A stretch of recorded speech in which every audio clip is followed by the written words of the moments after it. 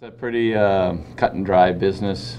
Once you lose, it's there's really not much else to say or anything to really give the guys any consolation. Or honestly, we're just uh, we're disappointed. Uh, feels very abrupt, but it's reality sports.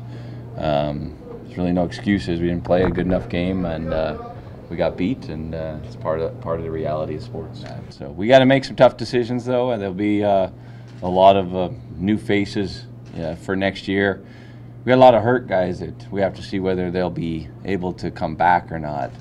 And uh, I'm sure Huff has his work come out cut out for him as far as the cap and that sort of stuff. So unfortunately, it is what it is. You move on, but uh, it's tough, you know, when like Smitty and some of those guys, you know, are retiring. I, I know there will be at least one or two more that also do that.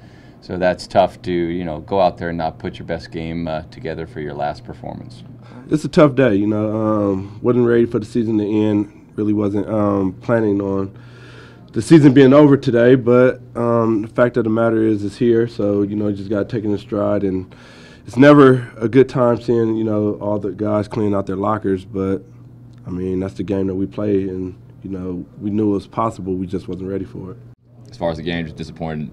I wasn't able to do um, you know what I always do for those guys. You know I felt like that was on me, and um, you know Dave's always telling us make sure you you you are your biggest critic. So um, you know just watching the film and everything just didn't have didn't have what I needed to have that game to get it done. Playoffs is where you know I've always stepped up and uh, become a different player. And uh, yeah, man, I mean, like I said last night, with success comes failure. It's going to happen.